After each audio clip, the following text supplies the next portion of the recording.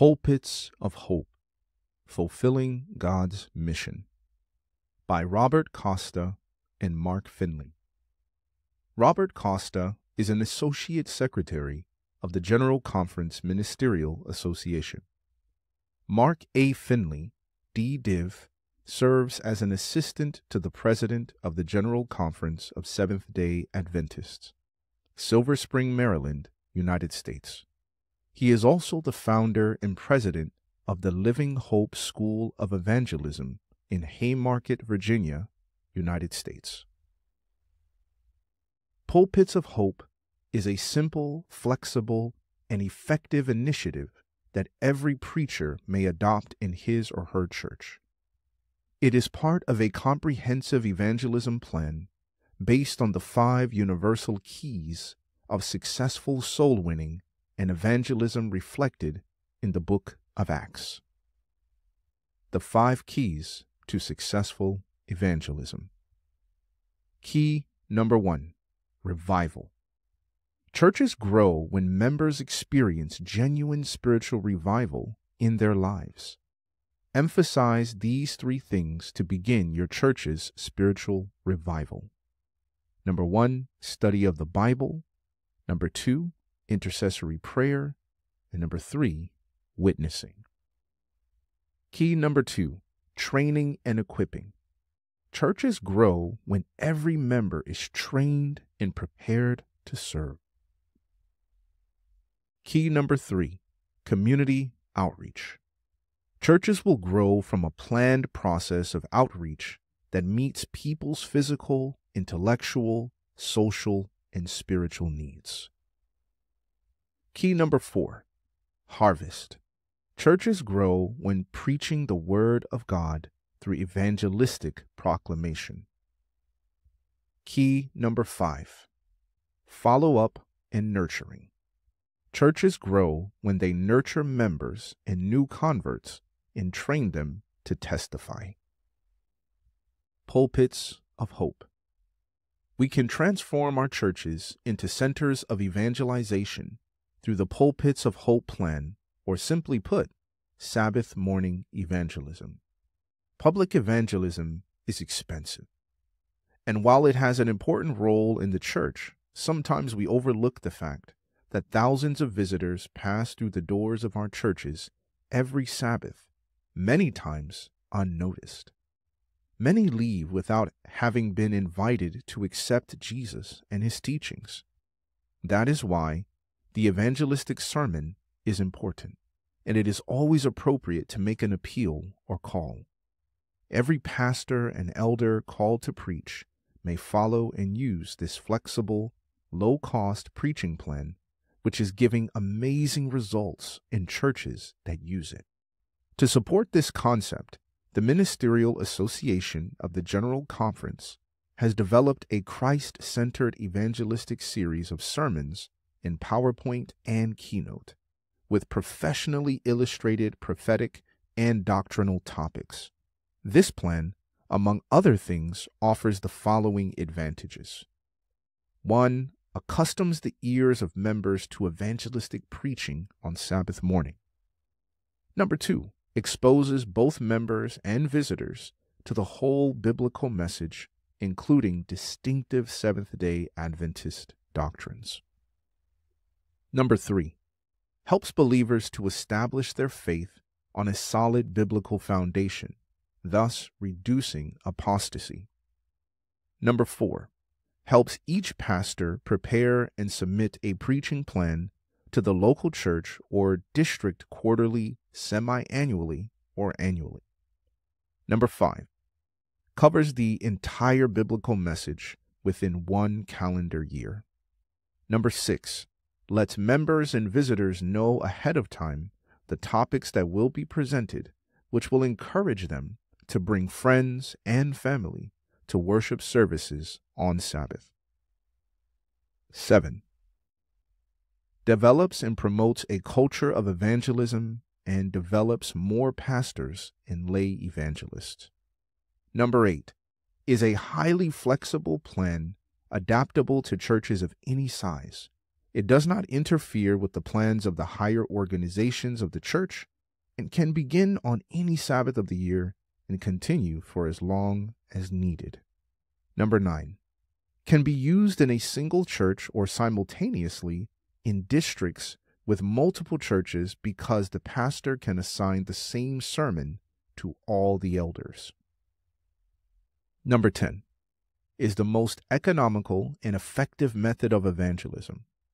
And number 11 helps many to decide for Jesus and the truths of the Bible.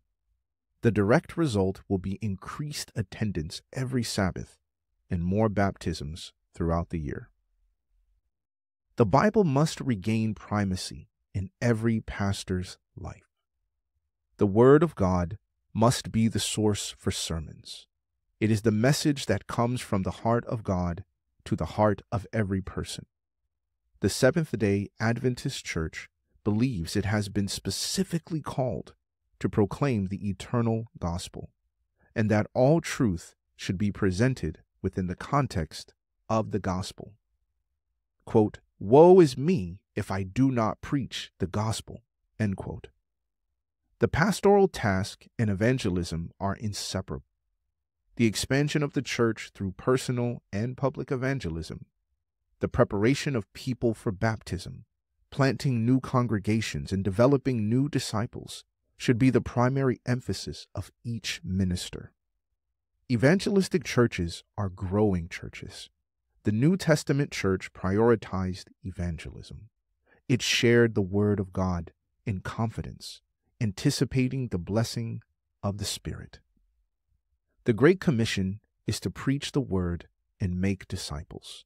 It is not a suggestion, it is Jesus' command, and it is vital for the church's health, life, and growth. We must view evangelism as a process leading to discipleship not just an event that adds to membership. While increasing membership is a byproduct of evangelism, the Great Commission envisions each believer becoming a mature, disciple producing minister. The task of evangelism does not cease until new believers are nurtured, trained, deployed, and winning souls themselves. Disciple making must be regarded as an integral part of the evangelistic process, not just an appendage or follow up after the main evangelistic event. Winning members without discipling them is ultimately self defeating. A revealing study. Thom Rainer, pastor and prolific researcher, carried out an extensive 10 year study of the fastest growing churches in the United States to learn how they are reaching out to postmodern people and why their members were motivated to stay in the church. The results speak volumes about how we need to relate to postmodern people and what will keep them coming back to church. Listed below are factors that attract and influence members in some of the fastest growing congregations. Pastor and preaching, 90%. Doctrines, 88% friendliness of members 49%, someone from church witnessed to me 41%, family member attends 38%, sensed God's presence, atmosphere of the church 37%, relationships with others than family members 25%, Sunday school class 25%, children's youth ministry 25%, other groups and ministries, 12%. Worship style and music, 11%. Location, 7%. Harvest. As we near the end of time, God is preparing a great harvest of people around the world. Thousands of pastors and laymen are cooperating with God in his final work. Now is the time to focus our vision on what Christ is doing in the world. The Lord promises His Holy Spirit right now if only we seek, ask, and believe. As we testify to people in our spheres of influence, in church, at home, at work, at school, or in our daily activities, God will bless our efforts. As we plan to reach our neighborhoods, towns, villages, and major metropolitan areas, He will make our work successful. As we sow seeds, God will give us a harvest. Every child of God is a beam of light. We are engaged in the most exciting and lasting work in the world soul winning. As leaders and church members, we have an awesome responsibility that comes with a stunning promise summarized on the last page of the book, Evangelism. Quote, Our watchword is to be onward, ever onward. Angels of heaven will go before us to prepare the way. Our burden for the regions beyond can never be laid down till the whole earth is lightened with the glory of the Lord. The stories in the book of Acts will occur again, even more gloriously, with the coming of the latter rain. The disciples did not have all the means available to us today, but one thing made the difference for them in the first century, and it will do the same for us today to be baptized and possessed by the Holy Spirit. Very soon, the world will be illuminated by God's glory. Will you let it shine through your life and work? For bibliographical and biblical references on this article, and for much more content for pastors and church leaders, please visit ministrymagazine.org.